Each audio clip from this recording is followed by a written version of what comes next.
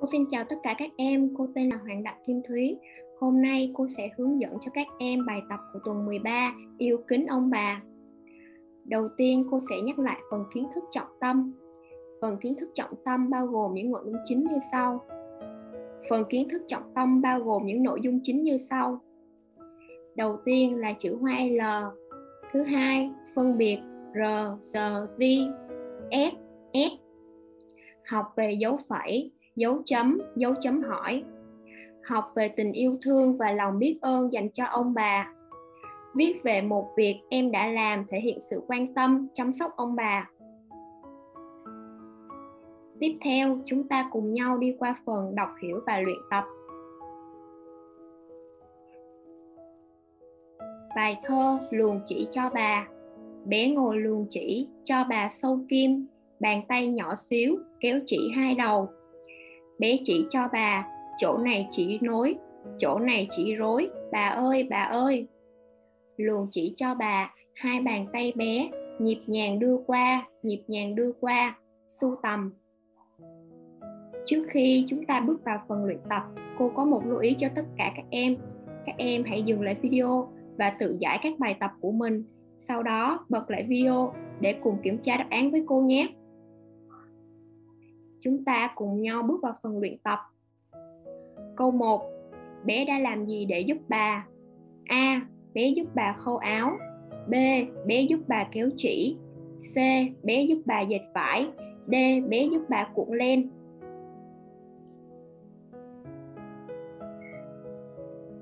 Với câu này, chúng ta sẽ quan sát.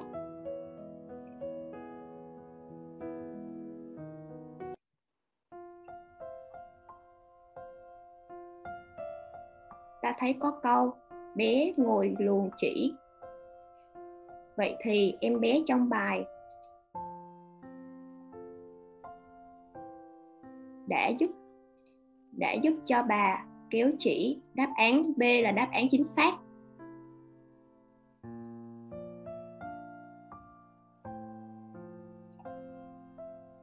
Cùng nhau qua câu 2. Câu 2, câu nào tả hình dáng bàn tay bé? A. Bàn tay nhỏ xíu, nhịp nhàng. B. Bàn tay mập mạp. C. Bàn tay xinh xinh, trắng trẻo. D. Bàn tay bé gầy gò, xương xương. Câu miêu tả hình câu miêu tả hình dáng của bàn tay bé là câu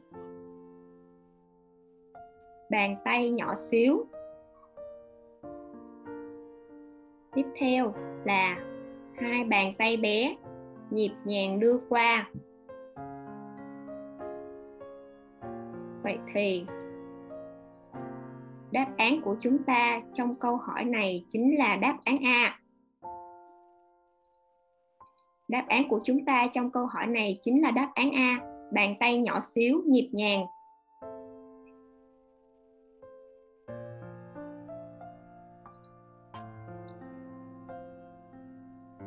giờ chúng ta sẽ cùng tiếp tục qua câu số 3. Câu 3. Việc bé giúp bà luồn chỉ thể hiện bé là người thế nào? A. Bé rất ngoan ngoãn và hiếu thảo với ông bà, cha mẹ. B. Bé rất đáng yêu, làm việc luôn nhẹ nhàng. C. Bé rất cố gắng làm việc. D. Bé không nghe lời ông bà, cha mẹ. Với câu này thì sau khi đọc bài các em thấy em bé trong bài là một em bé rất ngoan ngoãn và hiếu thảo với ông bà, cha mẹ. Đáp án đúng của chúng ta trong câu này là đáp án A. Bé rất ngoan ngoãn và hiếu thảo với ông bà, cha mẹ.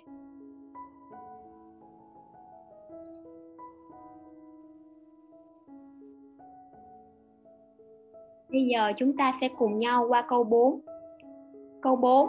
Em hãy sắp xếp các từ ngữ thành câu và viết lại cho đúng Nghe bà cháu kể chuyện thường cho. B. Bóng đá, bố con, hai xem thường với nhau. Với hai câu này, chúng ta sẽ sắp xếp như sau. Đầu tiên, câu A. Bà thường kể chuyện cho. Cháu nghe. Câu b. Hai. Bố. Con. Thường xem bóng. Đá. Với nhau.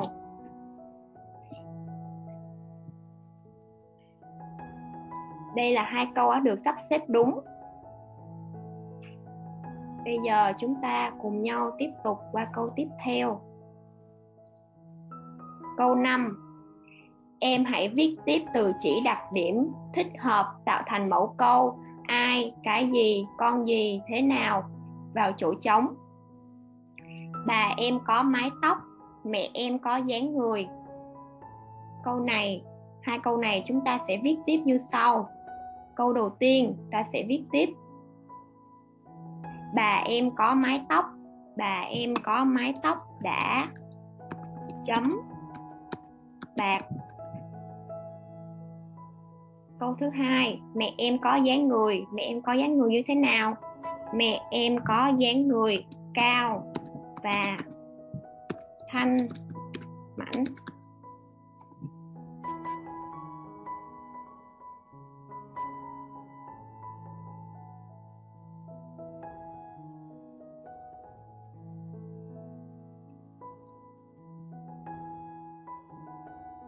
Các em có thể tham khảo hai câu này.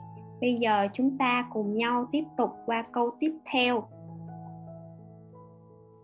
Câu 6 câu 6 dựa vào gợi ý trong sách giáo khoa tiếng Việt 2 tập 1 cánh diều trang 110 em hãy viết 4 đến 5 câu về một việc em đã làm thể hiện sự quan tâm, chăm sóc ông bà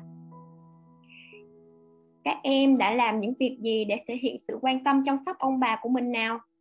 Bây giờ cô sẽ đưa ra một bài văn mẫu cho các em bây giờ cô sẽ đưa ra một bài văn mẫu cho các em cùng tham khảo.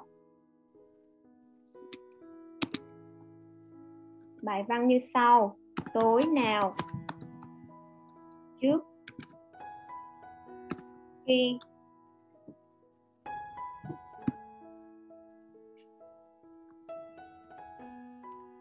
đi ngủ.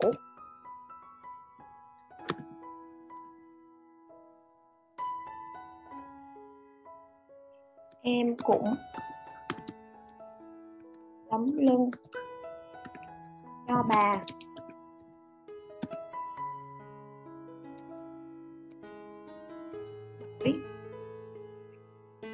Lúc như thế.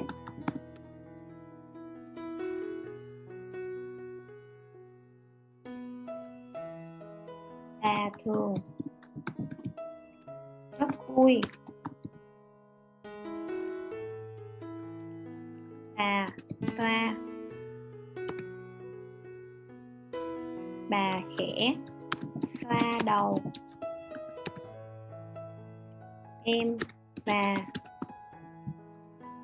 nói rằng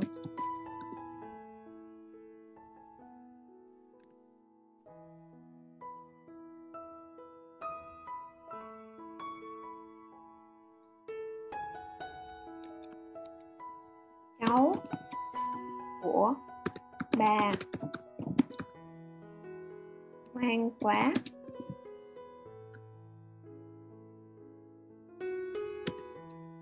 Em. Thường. Đáp lại. Lời khen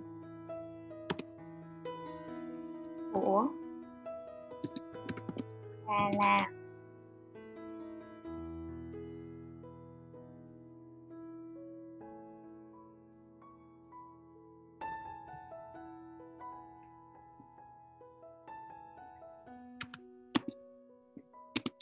dạ.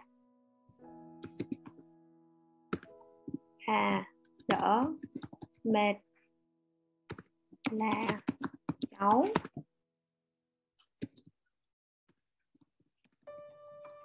vui rồi. À.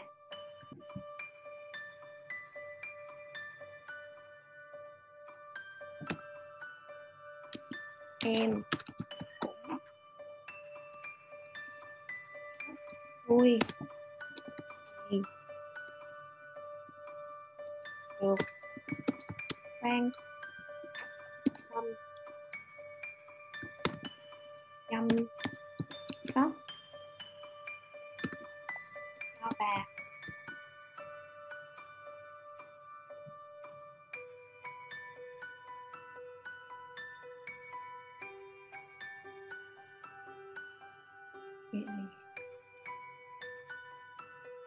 đây là đoạn văn mà các em có thể tham khảo sau đây chúng ta cùng nhau tiếp tục qua câu số 7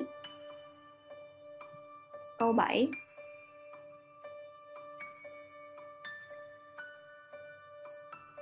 Câu 7 nối ô chữ với hình để giải câu đố. Con gì bò chậm nhất vùng, đã vậy còn thích đội nhà đi chơi. Con gì tám cẳng hai càng, chẳng đi mà lại bò ngang cả ngày. Không có cánh chẳng cần thang mà tôi vẫn cứ bay ngang lưng trời. Ở bên đây là các bức tranh đám mây, con cua và con rùa. Đầu tiên ta sẽ nối.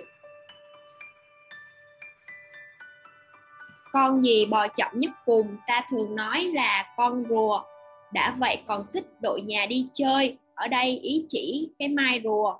Vậy ta sẽ nối câu này với bức tranh hình con rùa kế tiếp con gì tám cẳng hai càng con tám cẳng hai càng ở đây là con cua vậy ta sẽ nối Vậy ta sẽ nối câu này với bức tranh con cua. Không có cánh, chẳng cần thang mà tôi vẫn cứ bay ngang lưng trời. Bay ngang lưng trời ta thường hay thấy đó là những đám mây. Vậy thì câu cuối cùng này ta sẽ nối với hình đám mây. Vậy là chúng ta đã hoàn thành xong câu số 7. Đến đây các em đã hiểu bài hơn chưa nào? Nếu bạn hiểu bài rồi, chúng ta cùng nhau tiếp tục qua câu thứ hai. À, vậy thì chúng ta sẽ tiếp Đến đây các em đã hiểu bài hơn chưa nào? Nếu đã hiểu bài rồi thì chúng ta cùng tiếp tục qua câu tiếp theo. Câu 8. Câu 8. Gạch chân vào từ ngữ phù hợp với hình đầu tiên là bức tranh phim hoạt hình, thì từ ngữ đúng ở đây là phim hoạt hình kế tiếp là một hình tam giác thì hình tam giác ta thường nói là nó nhọn hoắt. Thì từ ngữ đúng ở đây sẽ là từ nhọn hoắt. Kế tiếp là bức tranh. Về một cô gái có một mái tóc xoăn. Vậy thì giữa tóc xoăn và tóc xoăn, chúng ta sẽ lựa chọn tóc xoăn.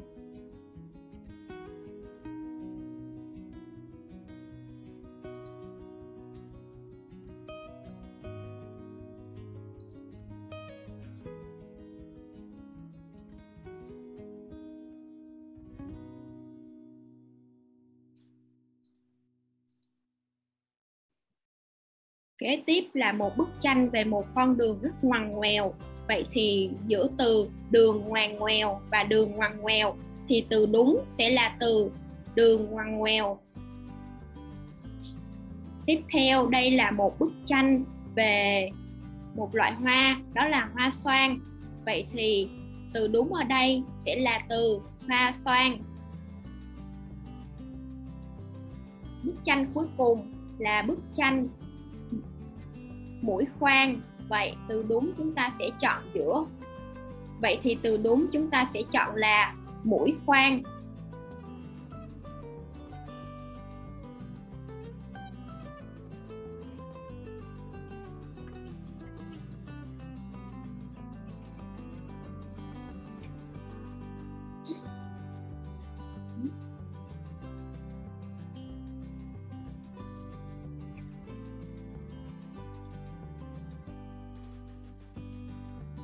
Chúng ta cùng nhau qua câu 9. Em hãy điền dấu chấm, dấu phẩy hoặc dấu chấm hỏi vào ô thích hợp. Ông nội và cháu. ông nội và người cháu đích tôn 3 tuổi đang ngồi chơi trò bán hàng cháu đây tôi đưa bác 5 đồng các em quan sát ở câu này đằng sau là từ nhân từ nhân này không được viết hoa nên ở đây chúng ta sẽ điền dấu phẩy ô, tiếp theo. Nhưng với một điều kiện, đến đây là kết thúc một câu, cho nên các em sẽ dùng dấu chấm. Câu kế tiếp. Ông, điều kiện gì cũng được. Ở đây là kết thúc một câu, cho nên các em sẽ điền vào đây là dấu chấm. Ok tiếp. Cháu, thật không? Thật không, ở đây ý chỉ là một câu hỏi thì các em sẽ điền ở đây là dấu chấm hỏi. Ông, thật thật thì ở đây các em sẽ điền vào ô này là dấu phẩy vì đằng sau là từ bác từ bác không được viết hoa. Bác cứ nói đi. Ở đây kết thúc một câu, các em sẽ điền dấu chấm ô trống cuối cùng. Cháu, bác phải về dạy lại con bác đi nhé. Con bác hay đánh tôi lắm. Ở đây là kết thúc một câu nên các em sẽ tiếp tục ở ở đây là kết thúc một câu nên các em sẽ tiếp tục. Điền vào đây là dấu chấm. Đến đây là chúng ta đã hoàn xong. Đến đây là chúng ta đã hoàn thành xong bài tập số 9 đó các em.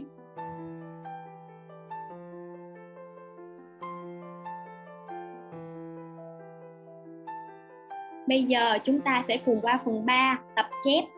Hôm nay chúng ta sẽ tập chép bài Lạy trời mưa xuống.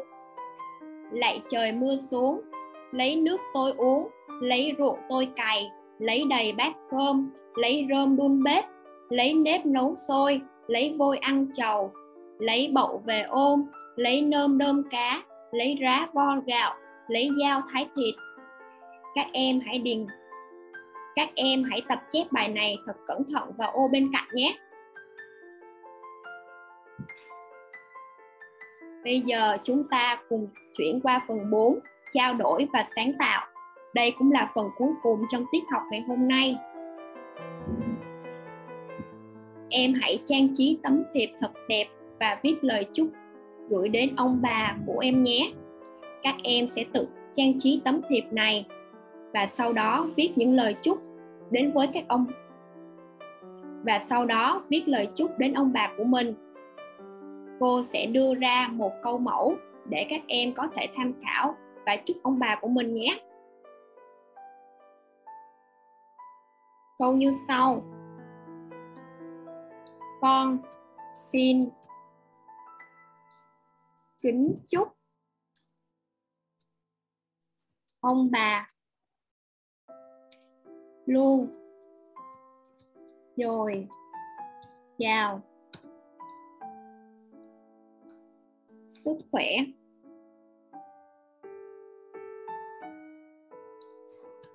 Sống. Thật vui.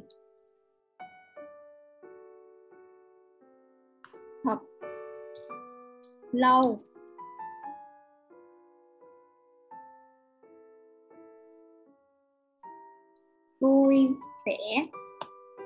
Và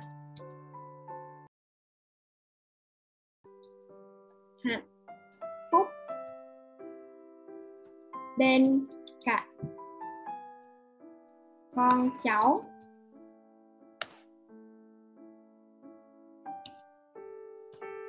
Con hy vọng có thể được ở bên. Ở bên cạnh. Nhìn. Nhắm.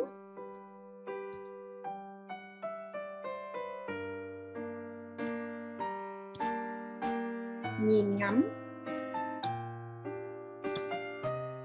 Nụ cười. Và lắng nghe những lời dạy, bảo của ông bà mãi mãi. Đây là lời chúc mà cô đã làm mẫu cho các em. Các em có thể tham khảo và chúc và gửi lời chúc đến ông bà của mình đến đây thì tiết học của chúng ta đã kết thúc rồi. Cô xin chào tạm biệt các em và hẹn các em vào những tiết học tiếp theo. Chúng ta cùng nhau qua phần 4 trao đổi và sáng tạo. Đây là cũng là phần. Đây cũng là phần cuối cùng trong tiết học ngày hôm nay. Em hãy trang trí tấm thiệp thật đẹp và viết lời chúc gửi đến ông bà của em nhé các em sẽ tự trang trí tấm thiệp này và viết những lời chúc thật hay đến ông bà của mình. Bây giờ cô sẽ làm một câu mẫu cho tất cả các em.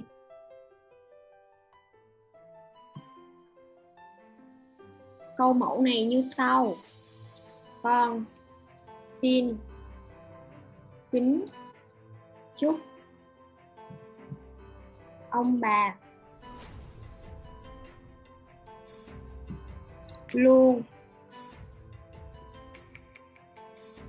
Dồi dào. Sức khỏe. Sống. Thật lâu. Sống thật vui. Đấy.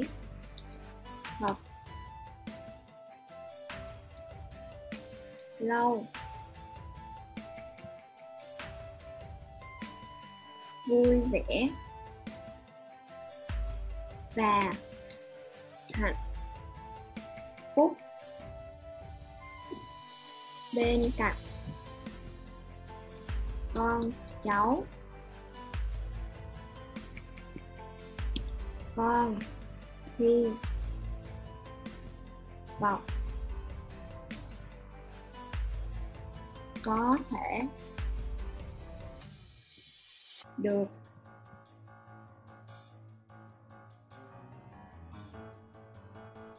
Được. Ở bên cạnh.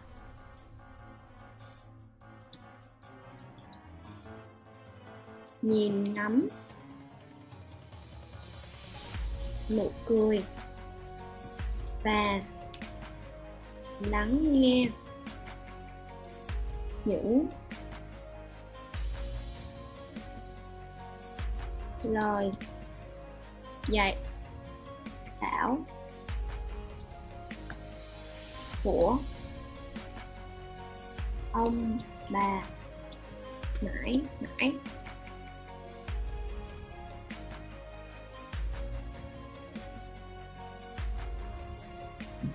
Đây là câu mẫu mà cô đã làm các em có thể tham khảo lời chúc này để gửi đến ông bà của các em nhé. Đến đây thì tiết học của chúng ta đã kết thúc rồi. Cô xin chào tạm biệt các em và hẹn các em lại vào những tiết học tiếp theo.